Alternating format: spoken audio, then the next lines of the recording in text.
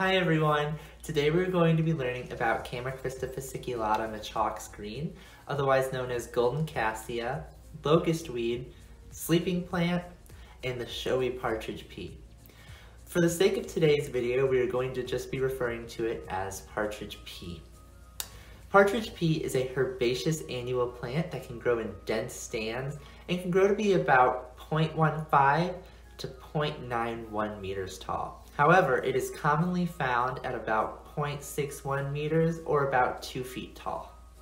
This species is a valuable food source for wildlife, especially birds and mammals, such as the northern bobwhite quail, the greater and lesser prairie chickens, and the field mouse. Deer can also benefit from this plant as a food source. However, livestock on the other hand may die if they eat large quantities of the partridge pea due to a cathartic substance that's present in the leaves and the seeds of this plant. Partridge pea is a legume and a common trait of legumes is the ability to fixate atmospheric nitrogen into a form that is usable to plants. This species is known to have a high rate of nitrogen fixation, which hits its peak when the plant is flowering. If we take a look at a distribution map of partridge pea across North America, we'll see that partridge pea is native to the central and eastern United States, as well as parts of Canada. However, it can be invasive in certain ecosystems, especially those in Canada. This species should be monitored after planting so that it doesn't become an issue. Speaking of which, if you're looking to add partridge pea to your landscape, then hardiness zones 3 through 9 are ideal for growing it. Now, besides intentional plantings, partridge pea is known to do well in disturbed sites, such as ditches and old fields. Partridge pea is also known to perform pretty well in open sunny habitats, such as prairies, specifically ones that have dry, sandy, loamy soil. Partridge pea can also be found in wetlands and on riverbanks, which is interesting because it has a low water requirement. However, it does do well in areas that are disturbed, and wetlands and riverbanks get disturbed quite frequently with floods. Now, if we take a look at the stem of a partridge pea, we'll see that it is alternate and the stem is slightly pubescent.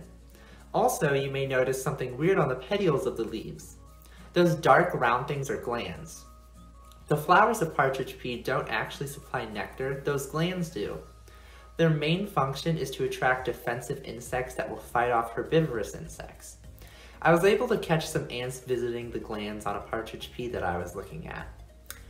Now, if we turn our attention to the leaves of this species, we'll see that they are pinnately compound, and each leaf has 5 to 18 leaflet pairs per leaf that consist of two small oval-shaped leaflets with a point at the top. Alright, now the flowers of a partridge pea generally bloom June to October, and when they do, they form an inflorescence of perfect yellow flowers. Each flower will have five green sepals, five yellow petals with red at the base, 10 reddish-brown stamen, and one long, pale, yellowish-green carpel. These beautiful flowers are pollinated by bees, flies, and ants. After pollination takes place, a hairy green pod will form typically around July, and by August, the seed pod is much darker and dry, so it is able to split open and disperse the 8 to 15 seeds that might be inside. The seeds themselves are black, shiny, and dispersed by mammals and birds that may have eaten them. Also, partridge pea is known to increase in abundance after a fire and decrease if there is a lack of fire. Alrighty, that is all for this video. Thank you all for watching. I hope you enjoyed learning about Chamaecrista fasciculata, otherwise known as the partridge pea with me. If you did, make sure to like and subscribe. Thank you all for watching, and I hope to see you all in my next video.